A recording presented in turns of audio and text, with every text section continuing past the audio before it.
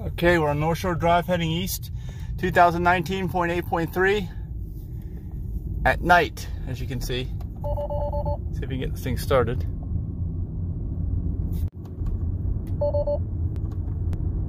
Nope, no, it's not gonna start up. There's a bus, big bus. Oh. It's lighting up the uh, Speed. Okay, there we go. Now it's all working. We gotta watch this. Oh, this guy on the right.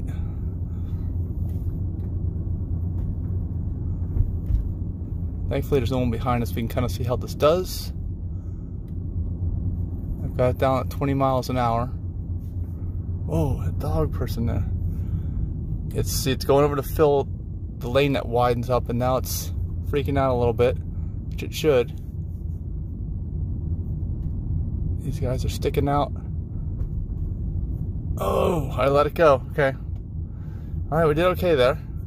Now we can pick up the speed a little bit because this is not as much of a difficult area on this course.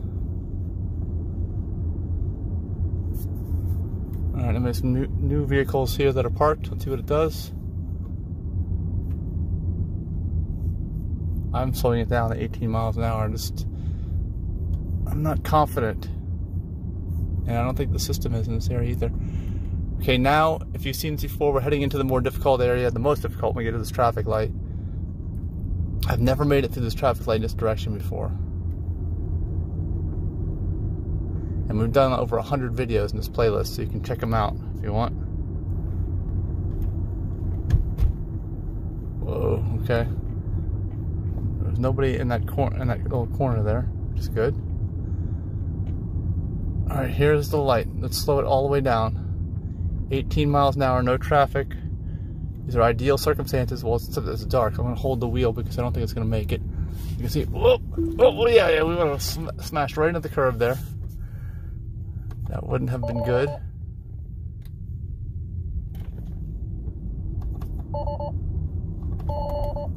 And it doesn't like this area. It won't, it won't turn on this area anymore. It knows it's bad with that traffic light it'll go through it from that direction, but it won't get, I guess, get back turning itself on in the area that's close to that light. So we've still got a ways to go. I hope we see some more improvements soon. Thanks so much for watching. Be sure to like the video, subscribe if you don't already, and hit the bell for notifications.